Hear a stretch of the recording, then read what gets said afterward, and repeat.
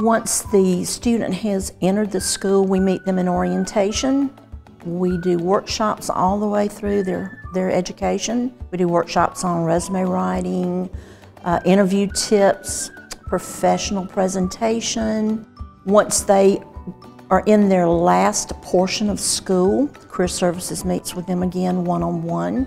We go through some of the same conversations. We make sure that they've got a marketable resume. And at that point in time, we begin to look, make daily calls looking for job opportunities. We begin to set up interviews for that particular graduate.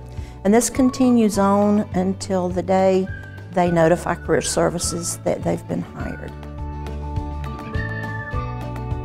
Fortis is a great family, though. We all play a part in each of our students' lives. When I go to my dentist office, grads work there. When I go to my medical doctor, grads work there.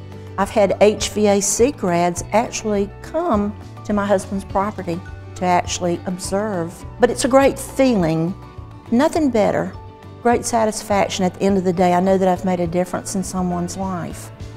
And then when I get to see it in person, it's just a great feeling. I don't know any other job that I could have possibly have that would give me back as much.